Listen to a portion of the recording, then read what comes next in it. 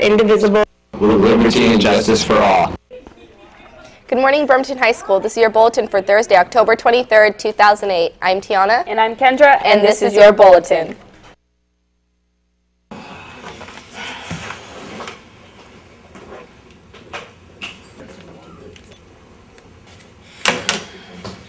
What are you doing? I wanted to watch that. Nobody watches the bulletin. Ringtone. What? It's not my ringtone. I got a new voicemail.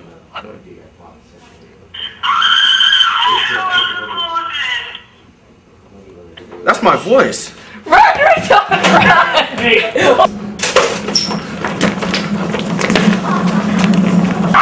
Who wants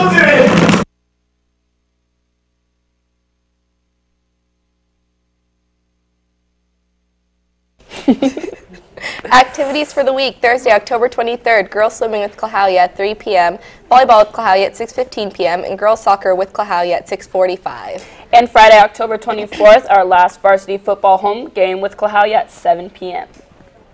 And you, staff and students, do you dare not to swear? Today's words of wisdom. Swearing makes you seem immature to your peers. That's from Maria Cans, a BHS student. Also, Knights. This is a Knight note alert. Knight notes are K notes, so students be aware and teachers be prepared. Get caught showing your Knight pride. Get caught with perfect monthly attendance.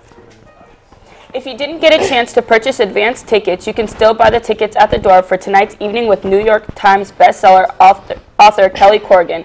Kelly's inspirational book, the In the Middle Place, is the story of her battle with breast cancer as well as her relationships with her family.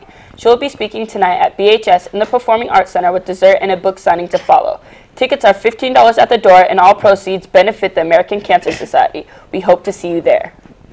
And FCCLA is holding the annual blood drive and we need donors. October 24th in the gym all day. Sign up in Mrs. Abby's room 111. You must be over the age of 16 and have a signed permission form to be able to donate. If you're 18 years old, just sign up to donate in room 111. You don't need a permission form. And remember, you've got it in you. The blood you give could save three lives.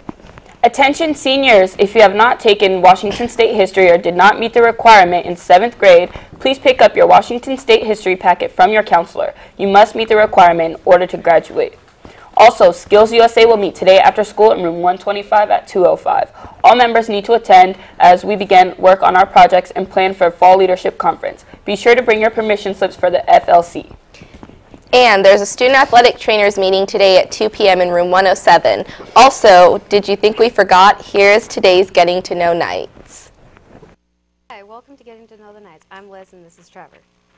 So, how do you feel about wrestling?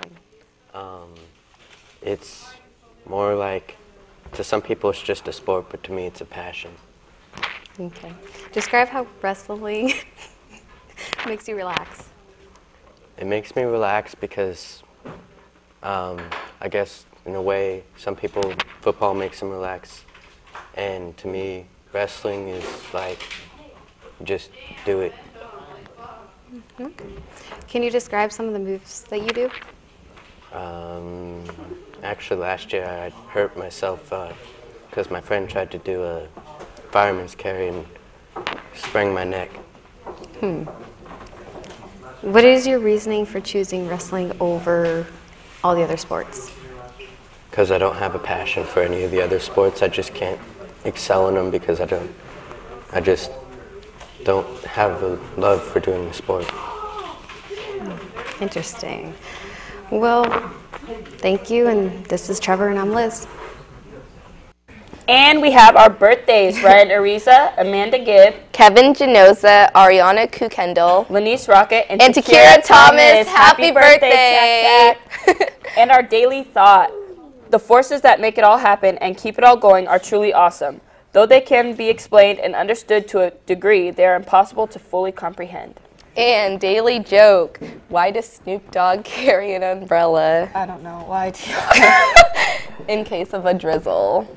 All yeah, right. yeah. this yeah. day in history, in 1983, 241 U.S. service members, mostly Marines, were killed in a suicide truck bombing at Beirut International Airport in Lebanon. A near simultaneous attack on French forces killed 58 paratroopers. Also, we have a special announcement. Junior officers meeting today in room 403 at 8:30 a.m. And that was your bulletin, everybody. Have a wonderful, magnificent day.